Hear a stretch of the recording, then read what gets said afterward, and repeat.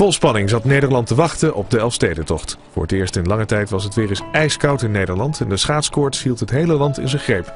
Maar woensdagavond was er ineens slecht nieuws. De tocht der tochten, die kwam er niet. We willen zo graag, we willen zo graag na 15 jaar die tocht organiseren. En we hebben het gevoel dat we vlak voor de streep zitten en dat we het niet halen. Gauke Bootsma is eigenaar van het Friese Schaatsmuseum in Hinderlopen. Zijn museum bevat de grootste schaatscollectie ter wereld. Ondanks Gaukes teleurstelling had hij het wel zien aankomen. Dat weten we al van begin af aan. Voordat het uh, zou beginnen te vriezen, dan weet je al, dat kan zo alle kanten uitgaan. En hier leggen plaatsen maar 5 centimeter ijs, dus daar kan je niet met 16.000 mensen overheen.